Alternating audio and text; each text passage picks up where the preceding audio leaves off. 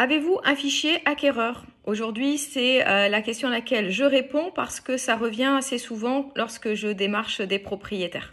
Alors tout d'abord, qu'est-ce qu'un fichier acquéreur? C'est tout simplement une base de données qui regroupe euh, un ensemble de personnes qui sont en recherche active normalement d'un euh, bien immobilier. Alors attention parce que certains professionnels se vendent d'avoir un large fichier acquéreur, mais qu'est-ce que ça veut dire réellement?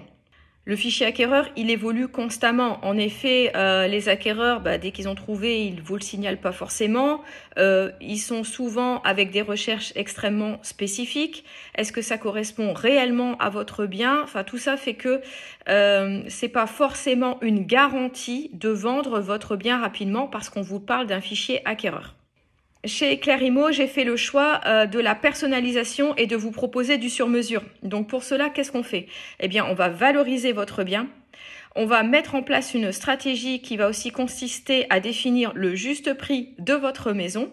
Ensuite, on va préparer une annonce percutante et on va voir aussi où diffuser euh, cette annonce parce que ce qui est le plus important, c'est la visibilité.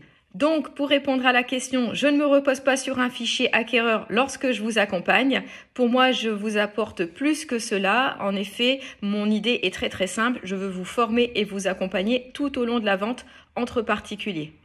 Si vous avez euh, d'autres questions ou si vous avez besoin d'en savoir plus sur le coaching immobilier, je vous invite à me laisser un commentaire ou m'écrire directement en message privé. Et n'oubliez pas, avec Imo, vendez vous-même, mais pas solo.